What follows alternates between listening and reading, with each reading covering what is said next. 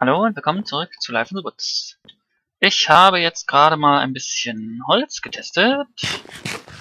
Und also was wie aussieht, so passend zum Raum. Und jetzt müsste ich mich langsam mal doch entscheiden, was ich hier an die Wände ranzimmer. Ich werde dann vielleicht noch ein bisschen so Richtung Decke was Verzierendes machen, aber es ist erstmal so zum Farbvergleich mit dem Roten. Also die beiden werde ich erstmal wegmachen, weil das Rot äh, mache ich nicht. Das sieht ja ganz aus wie sonst was für ein Gebäude. Und den Fußboden dort an den Wänden, das finde ich jetzt auch nicht so toll. Ich habe jetzt so ein äh, das Markante für den Fußboden eben dieses helle Holz genommen und da will ich jetzt nicht noch mehr davon nehmen. Ähm, was hier oben vielleicht ist aber wieder die Frage. Also da, das hier sieht schon interessant aus. Die Frage ist, ob das jetzt zu der Art von Gebäude passen würde. Ich meine, es ist ja, es ist ja mehr so äh, Art Kellergewölbe für eben sowas, wo Farmen drüber sind und sowas. Es ist ja mehr so Lagerkeller und so. Von daher würde das schon ein bisschen passen, aber ob das jetzt so im Wohnbereich wohnlich dann aussieht, ist die andere Frage. Also wenn, dann würde ich das vielleicht äh, in dem Zimmer hier, wo das Lager und so ist, nehmen und hier Richtung vorne. Und dann hier irgendwas anderes. Und dann das, was ich letzte Folge gezeigt habe, dieses mit den Carpenter-Blocks, dass ich hier sozusagen eine Art Tapete dran mache oder eben hier, dass dort eben was anderes dran ist. Welches Holz würde denn noch für den... Das hier sieht zum Beispiel schön warm aus, finde ich. Das ist schön warmes Holz. Das könnte man da vielleicht nehmen, denke ich. Äh, das helle ist zu... Hm, ja, das gefällt mir nicht.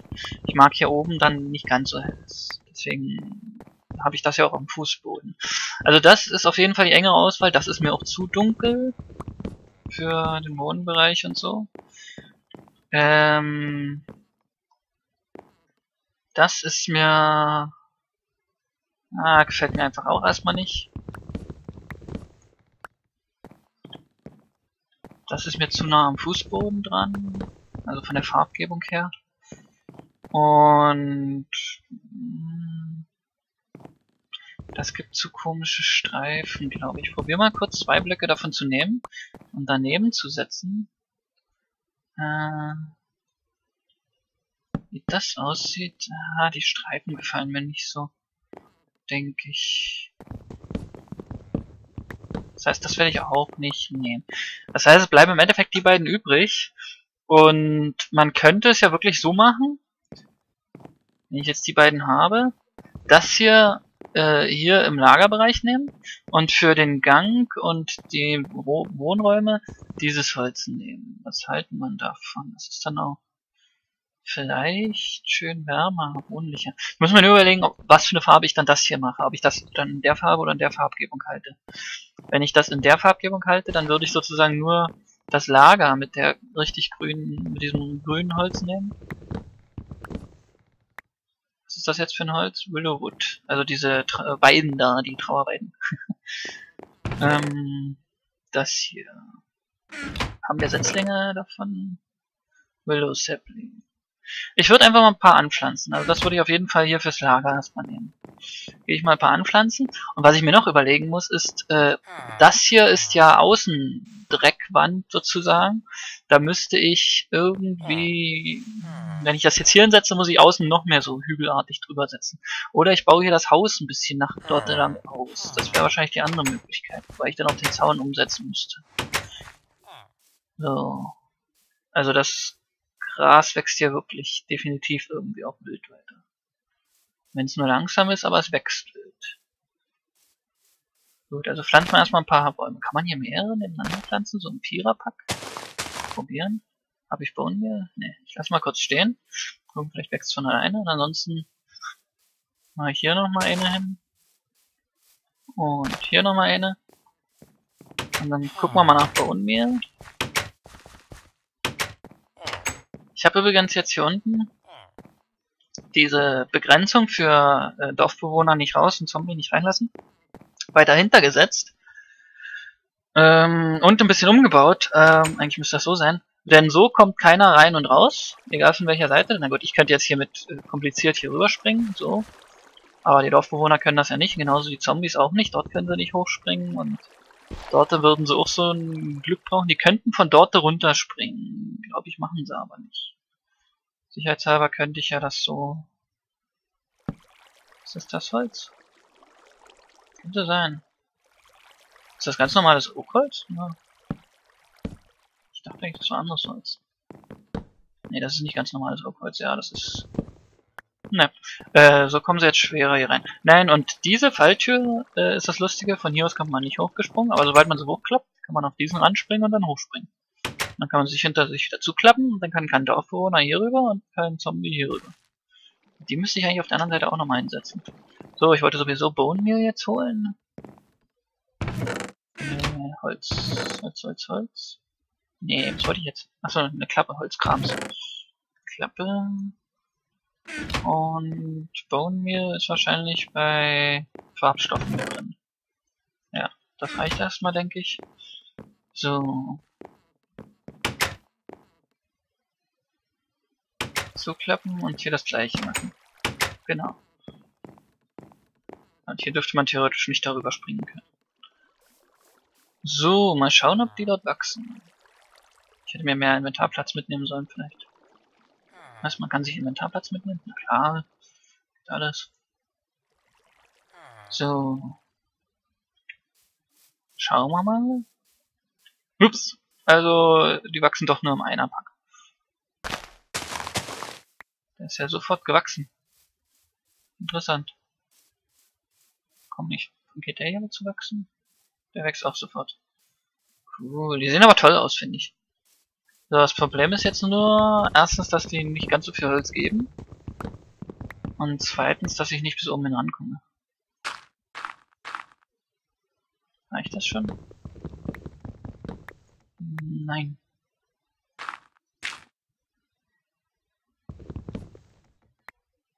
Sind die immer gleich hoch? Wo ist denn der andere? Doch, das ist der andere. Warum mache ich eigentlich Axt, äh, Spitzhacke und Schippe vertauscht? Hier haben auch noch Holz, genau. Die haben auch einen riesen Blattwerkhaufen. Ah, alles erwischt, sehr schön. Ist das hier alles despawned ist, das ganze Blattwerk, äh, dauert es eine Weile.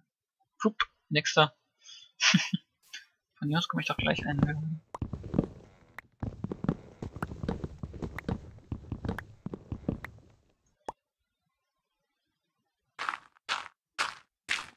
Wir werden dann auch, äh, wenn ich jetzt die Wände ein bisschen verkleidet habe und so, werden wir auch mal wieder eine kleine Tour machen. Ich habe jetzt viel zu lange mit Bauen mich beschäftigt und das, den Abenteueraspekt, den ich hier ja eigentlich verfolge, gar nicht so mit mehr, naja, einbezogen, sag ich mal. Wollen wir auf jeden Fall jetzt mal wieder an der nächsten Folge, schätze ich mal, schon nochmal wieder ein bisschen durch die Gegend reisen. Aber hier gibt's gut Saplings aus den Dingern. Könnte man bestimmt dann einiges anstellen. Hier muss ich mich sehr hochbauen, der sieht sehr hoch aus. Weil kriegt man wirklich aus einem Baum gefüllte 10 Saplings oder so wahrscheinlich. Oder wahrscheinlich sogar noch mehr, wenn ich mir angucke, wie viel Blattwerk hier noch steht von den Bäumen.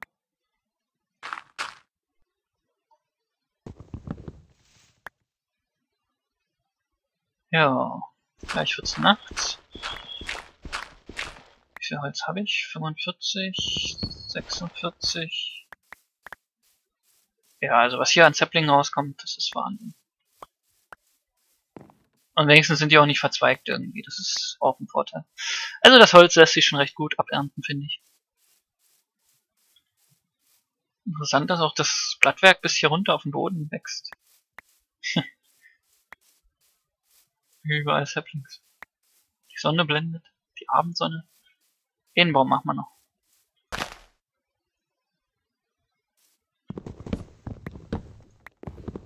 Ja, der ist nicht so groß, der geht. Den kriege ich so. So, jetzt haben wir 53 Holz, das heißt 212 Planks, die müssten für die Wände zumindest reichen. Ich müsste mal schauen, was ich mit der Decke mache.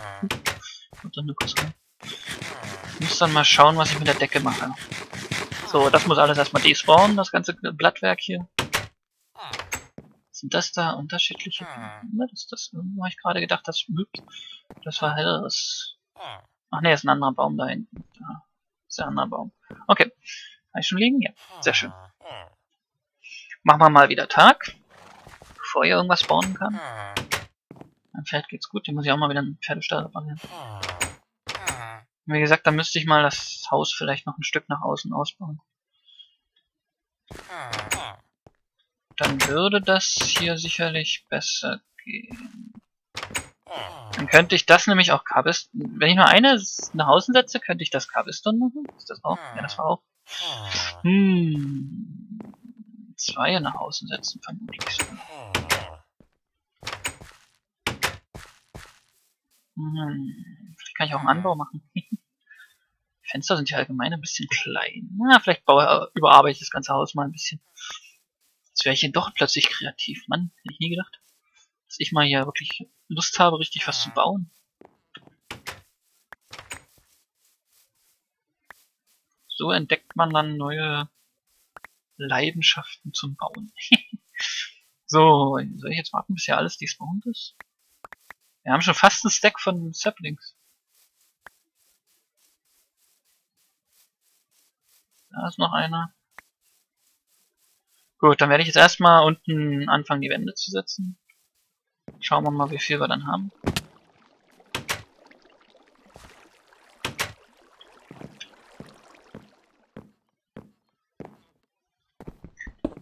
Schippe ist auch bald alle, aber das geht noch. Für die Wände müsste es noch reichen, wenn nicht, dann mache ich halt eine neue. Ach, jetzt werden erstmal die Kerzen alle runtergehauen, glaube ich. Mal gucken.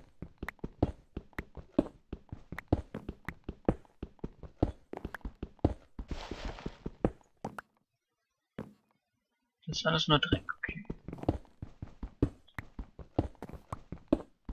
Ich muss dann mal ganz kurz vergleichen, wie das aussieht, wenn man an die Carpenter Blocks äh, Blöcke dieses Holz ransetzt, ob das heller wird, dunkler wird oder wie das dann aussieht. Weil manchmal sieht das ja dann anders aus, haben wir ja vorhin gesehen. Okay, muss ich an. Ja, komme ich besser ran.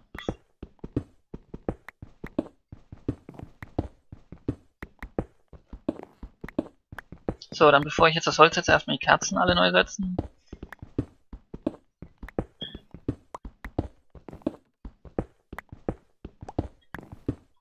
Welche Farbe an Wachskerzen würde denn dann passen für so einen grün-roten Raum?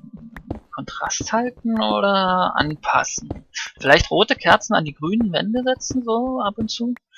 Das würde vielleicht sogar lustig aussehen.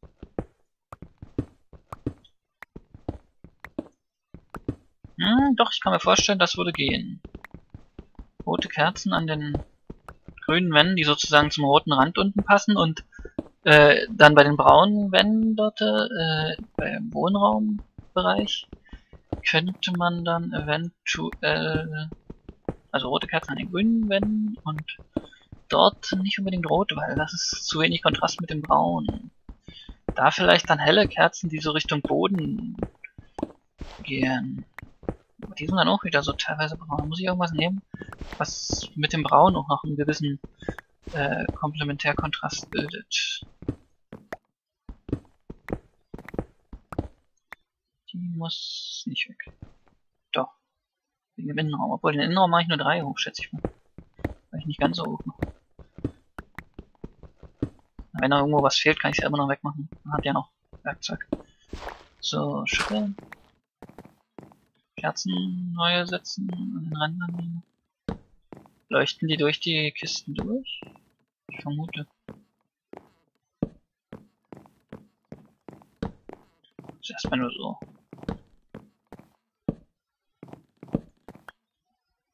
So, den Dreck wegschippen.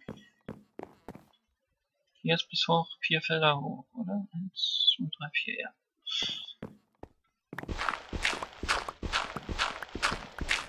Schauen wir mal, wie das aussieht.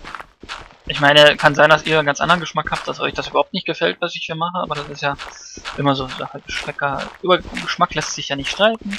Jeder hat so seine eigenen Vorlieben und Gedanken. Ihr könnt auch gerne selbst mal Woods ausprobieren und dort alle möglichen Sachen durchtesten, die noch so möglich sind. Für die drei Dreckblöcke nehme ich jetzt keine neue Schippe. So, jetzt dieses Holz.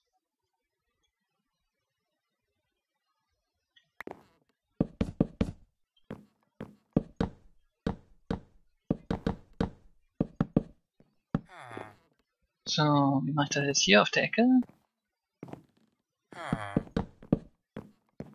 Ähm, werde ich dann überlegen. Also, den Streifen. Und den Streifen. Hm?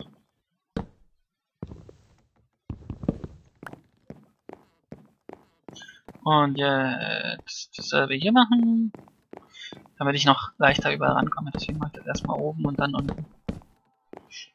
Mehr Holz.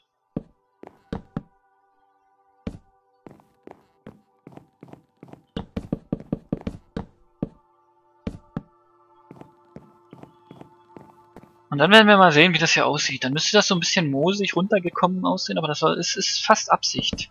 Weil ich möchte schon, dass das hier wirklich wie ein Lagerraum aussieht, auch ein bisschen. Das ist hier echt nicht ganz.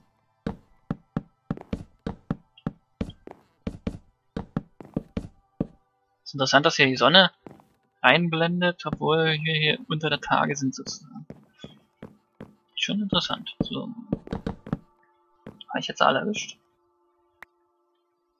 Ich vermute schon. Keine Ahnung.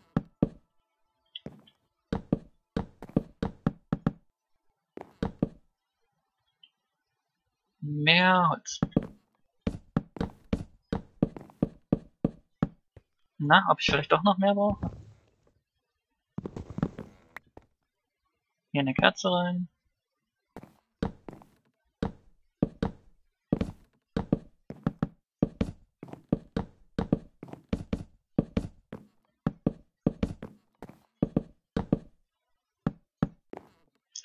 Und eine Kerze.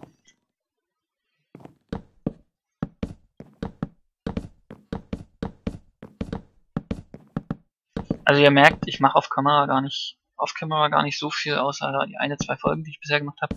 Es ist halt hauptsächlich, wenn ich mehr überlege, als dass ich mache und ich jetzt nicht unbedingt euch mit, meiner, meinen Überlegungen langweilen will, dann sieht das so aus, wie, äh, wie da, dass ich da was rausschneide oder so. Das ist wirklich eigentlich nicht großartig viel. So, wie mache ich das jetzt hier? Da muss ich jetzt wegen den Carpenter Blocks überlegen, welche Seite ich dann sozusagen tapeziere.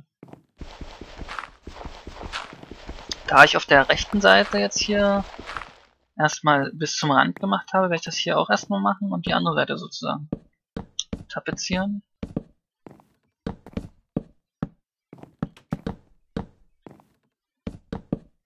Na guck mal einer, schau. Das Holz hat genau gereicht. Wie bemessen, wie berechnet, äh, wie abgemessen. So, und jetzt hier oben noch die Decke. Mhm. Sieht interessant aus. ja.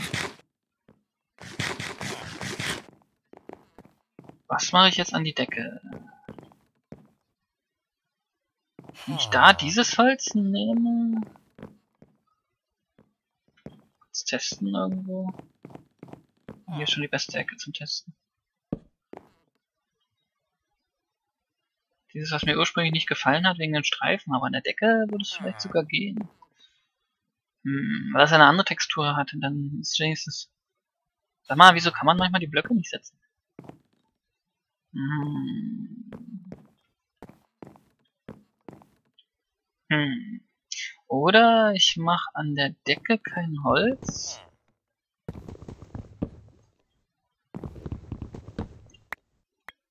sondern irgendwas anderes. Ähm, mal kurz in die Deko-Blöcke-Box reinschauen. Was halten wir davon, wenn wir die Decke sozusagen einfarbig aus gefärbten... Oder was halten wir? Was, wie sieht denn das aus? Kalk. Das sieht auch so ein bisschen, ein bisschen schmutzig aus, aber schon relativ weiß. Und da das Lagerräume sind, würde das vielleicht sogar gehen. So. Da muss ich noch mehr holen mir irgendwo. Uh, ich könnte hier oben stehen. Wie habe ich das gerade gemacht? Keine Ahnung. Hm, das war falsch.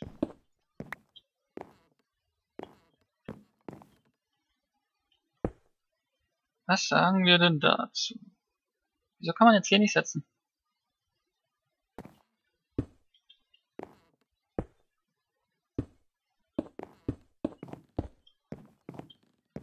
Wenn so die Decken habe, die sieht doch ein bisschen langweilig aus, oder? Auf jeden Fall. Ah, nicht so toll. Ich mach's. Ich überleg mir noch was.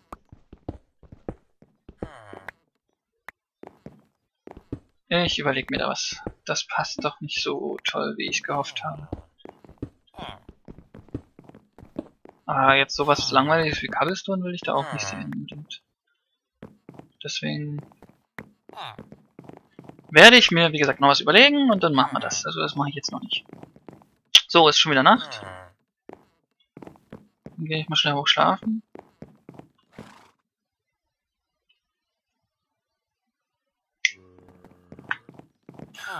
Und dann werde ich jetzt mein Inventar ausräumen und nächste Folge gehen wir dann mal wieder auf Abenteuerreise, würde ich sagen. Ach, hier muss ja dann mit den Carpenter-Blocks gearbeitet werden. Muss ich mal schauen, wie ich das mache. Ah, das mache ich jetzt noch schnell. Äh, Holz. Wir brauchen jede Menge Holz. Dann nehmen wir erstmal das Oakwood-Holz. Obwohl, wir müssen erstmal... Ich muss erstmal das ganze andere Holz wieder reinräumen. Oakwood. Oakwood. Yarakara. Das ist anderer Holzkram. Das rote Holz, anderer Holzkram, anderer Holzkram. Acacia Wood, welches ist das? Pinewood, Willowwood, Sprucewood, Acacia. Pinewood war das hier. Sprucewood ist das hier. Willow haben wir alles verbraucht.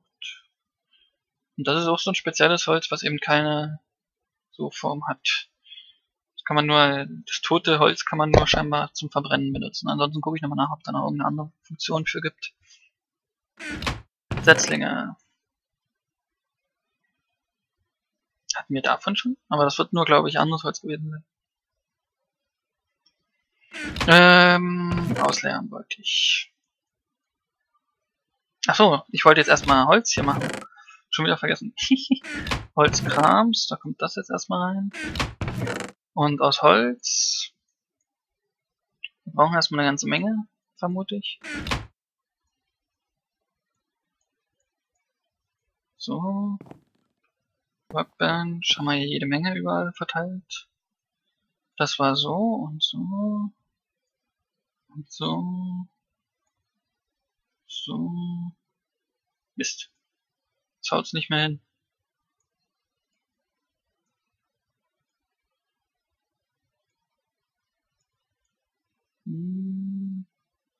Fast.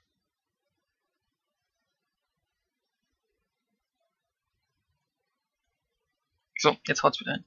So, da haben wir erstmal jede Menge Carpenters Blocks, Blöcke, Gelumpe, vielleicht brauchen wir die noch öfter. Und jetzt schauen wir mal kurz, wie das dann aussieht. Ob das eine andere Farbe hat, jeweils als Tapete oder als normal angesetzte Farbe. Ah, mein Werkzeug geht auch alles kaputt. Na, dann testen wir mal kurz so. Ich mache auch kein Geräusch, wenn man es setzt, das ist ungewohnt. So, wenn man jetzt äh, das Holz hier reinsetzt, dann sind die dunkler. Hm, und wenn man das jetzt ransetzt, dann sind die immer noch dunkler. Und wenn man das an anderes Holz ransetzt oder an andere Sachen, sind die immer noch dunkler. Wie kann man das machen? Wie kann man das machen?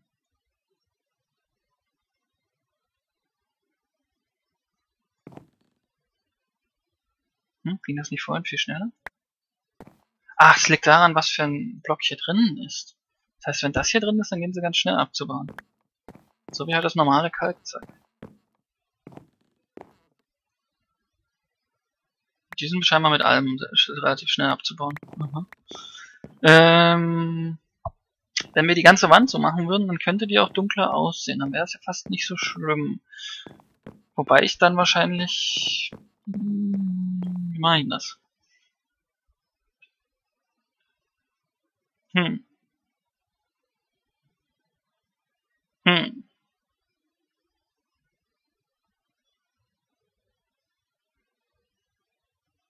Wie mache ich das jetzt?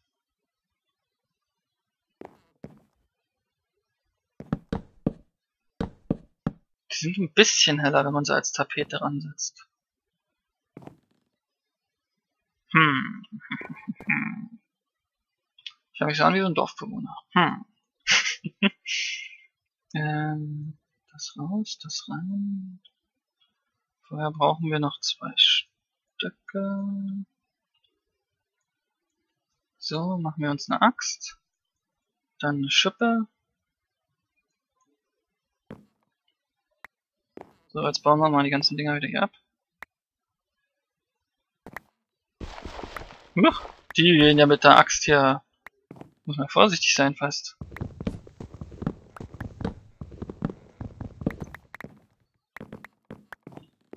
So, wenn ich jetzt... Äh, ich wollte dieses Holz... Was ist das eigentlich für ein Holz? Dieses Holz nehmen für die Innengestaltung... Dschungel. Für die Innengestaltung dieser Wand. Wenn ich jetzt also... Das muss ich nochmal setzen.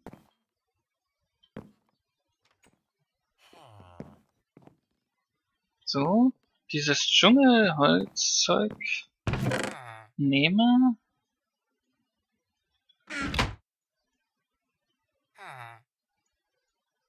Das jetzt hier ransetze. So, so, so. Dann ist das aber vermutlich auch wieder dunkler als normal. Ja, das sieht dunkler aus. Ups. Ach. Die muss ich jetzt wieder komplett wegreißen, oder? Ja, die gehen dann komplett weg.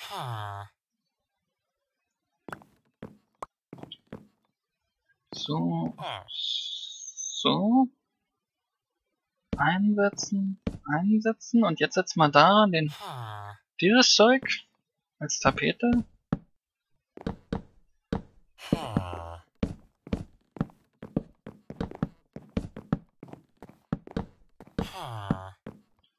Mhm, ja. Könnte man erstmal so lassen. Habe ich da gerade jemanden Schmerzen erleiden hören? Wieso ist da draußen Holz?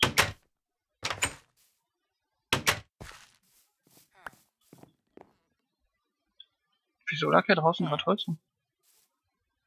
Oh, es ist doch mal Zuckerrohr gewachsen, sehe ich gerade. Ganz seltener Anblick. Wo ist eigentlich der andere Dorfbewohner? Ach, hier unten. Eigentlich gesehen. Gut, äh, das würde dann so aussehen. Könnte man ja lassen, wenn ich das jetzt hier auch machen würde.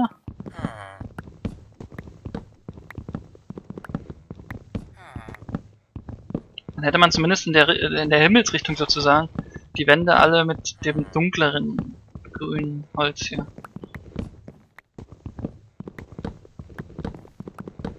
Wäre jetzt gar nicht so falsch, würde ich fast behaupten. Machen wir das hier.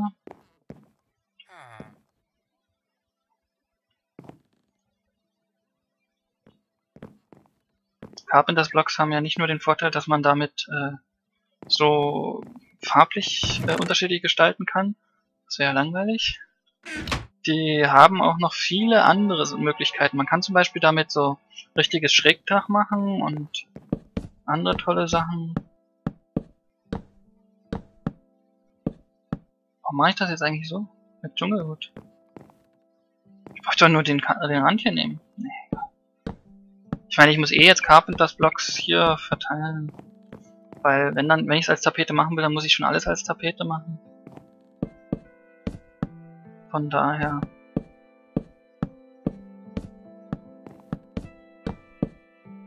Was passiert eigentlich? Naja gut, egal. So, und jetzt hätte man auf beiden Seiten hier sozusagen die Tapete dran und hätte aber hier schon das Dschungelholz, Dschungelholz-Optik.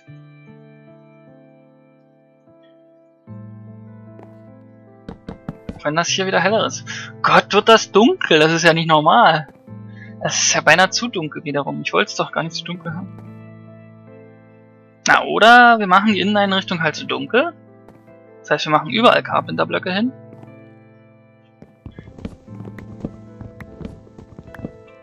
Oder gab es hier noch ein anderes dunkles Holz? Ja gut, das Sprucewood, aber das ist ja wieder ein anderes, oder? Ja, das ist wieder andere. Noch ein dunkles Holz. So dunkel ist gar kein Holz mehr. Hm. hm. Mal kurz was testen. Man hier ran, das...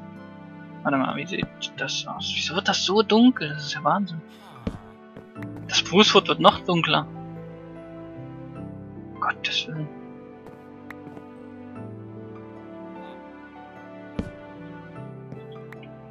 Mann, Mann, Mann. Ach, deswegen lag oben Holz, weil das hier sozusagen so komisch weggeflogen ist. Das ist ja wie Bilderrahmen, die fliegen ja sonst da wie weit. Na, dann mach mal eben überall die Carpenters-Blöcke. Das werde ich jetzt auf Kamera wirklich machen, weil das ist jetzt nicht so interessant für euch.